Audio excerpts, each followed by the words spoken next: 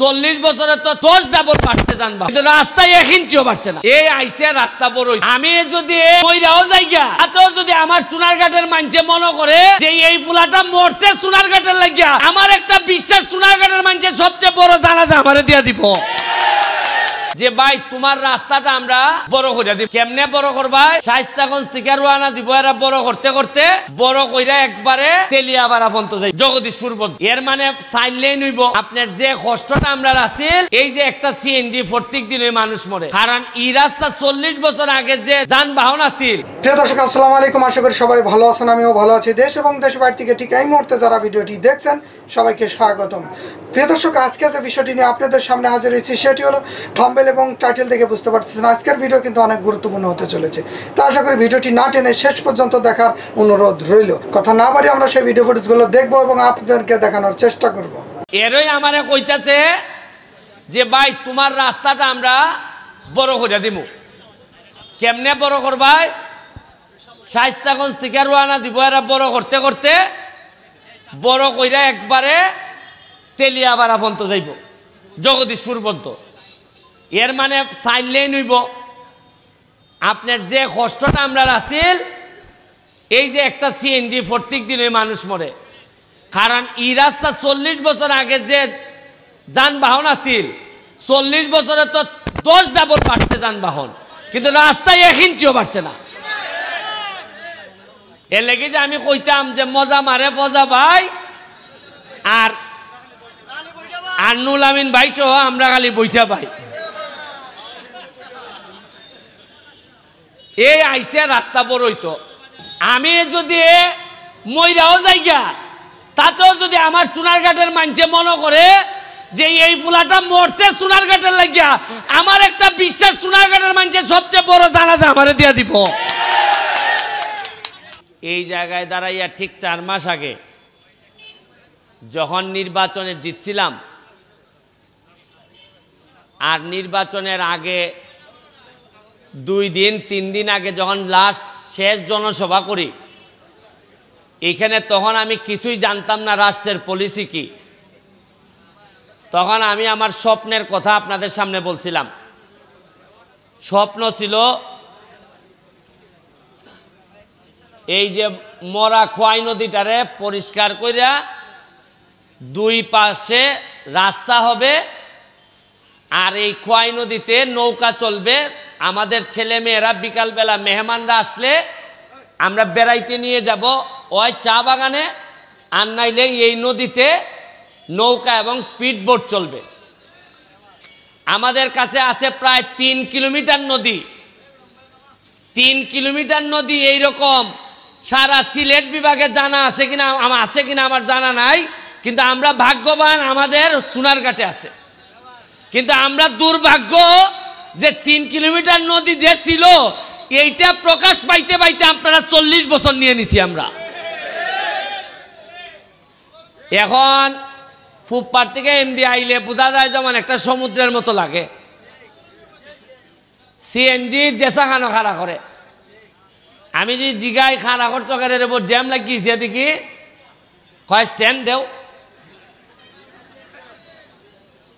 আমি দুইটা স্ট্যান্ড বানাই দিছি। স্ট্যান্ডটা উদ্বোধন হইলে বড় কোনো সিএনজি রাস্তার মধ্যে রাখলে কই মোরা উনকা তো স্ট্যান্ড আছে, উনকা খারা করছ তোর স্বভাবের কারণে? আপনিও কইতে পারবা।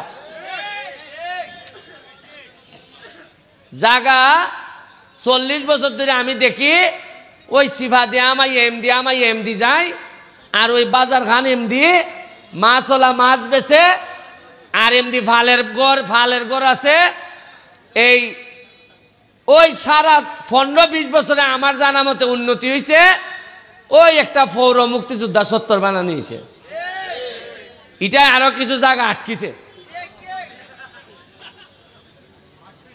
আমি সোনারঘাট থেকে যখন রাস্তাটা গেছে, তখনও তো আমরা সোনারঘাট একবারে তেনা তেনা করে ছেড়ে দিছে।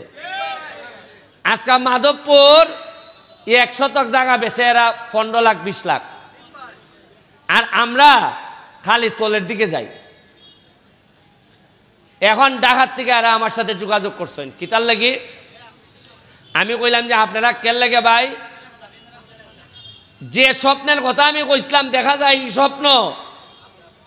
এরই এই আমারে কইতাছে, এই সরকার এবং এই রাষ্ট্র। এরই আমারে কইতাছে যে, ভাই, তোমার রাস্তাটা আমরা বড় করে দিব কেমনে বড় করবাই? শাইস্তাগঞ্জ থেকে রোয়ানা দিব, এরা বড় করতে করতে বড় কইরা একবারে তেলিয়াবাড়া পর্যন্ত যাইব, জগদীশপুর পর্যন্ত। এর মানে সাইনলেই নইব।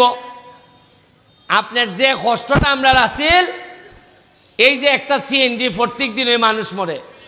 কারণ এই রাস্তা চল্লিশ বছর আগে যে যানবাহন আছিল, চল্লিশ বছরে তো দশ ডাবল বাড়ছে যানবাহন।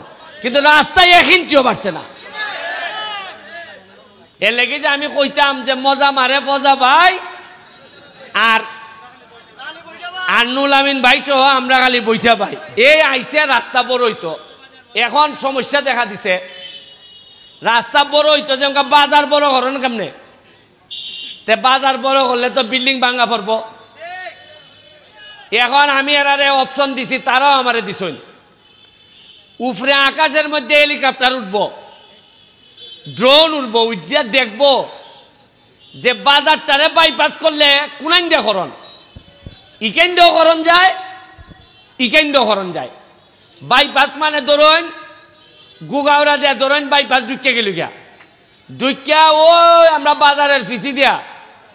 ওই কেন্দ্রে গিয়া একবারে যদি গিয়া উঠে, এই কিতা কয় আপনারে? এই আমতলি। আমতলি গিয়া যদি উঠে অভিগঞ্জের যেভাবে বাইপাস হয়েছে তে আমরার শান্তি হইবনি না, হইতো না। এখন আজকাল যারা এই মিটিং আইসন না, তারা তার পাইবা কারণ জাগার দাম যে বাড়বো তারা তো জানেন না। তোমরা যারা মিটিং আইছ, কিছু ফাতলা ফাতলা করে জাগা রাখা ধরো। যারা মিটিং আমি যে ডাকছি এরপর আইসুন না যে, তার ভাইবা তারা মনে করেন যে বিদেশ গেলে বুঝি টেকা রুজি। আরে টেকা রুজি খালি চোখ কানটা খোলা রাখলেই টেকা রুজি হয়। চার মাস হয়েছে আমি এমপি হয়েছি আমি জানি আগামী আগামীবার মনে না এমপি হইতাম পারব খুঁজা। খেরে, একদম না, খেরে হইতে পারতাম না। কারণ উনকা আমি রাস্তা বড় করবার লেগে আরেক বেটার গড় কিছু বাংমু। এই বেটায় কইব, ও, এরে বুটটা দিয়ে আমার কত বড় ভুল হইছে। কিন্তু যা হইব সব সোনার ঘাটের কল্যাণে হইব। আমি যদি মইরাও যাইগা, তাতেও যদি আমার সোনার ঘাটের মানছে মনে করে যে এই ফুলাটা মরছে সোনার ঘাটের লাগিয়া, আমার একটা বিশ্বাস সোনার ঘাটের মানছে সবচেয়ে বড় জানাজা আমারে দিয়া দিব। প্রিয় দর্শক, ভিডিওটি যদি ভালো লাগে অবশ্যই লাইক, কমেন্ট, শেয়ার করুন এবং আমাদের সাথে এতক্ষণ থাকার জন্য সবাইকে ধন্যবাদ।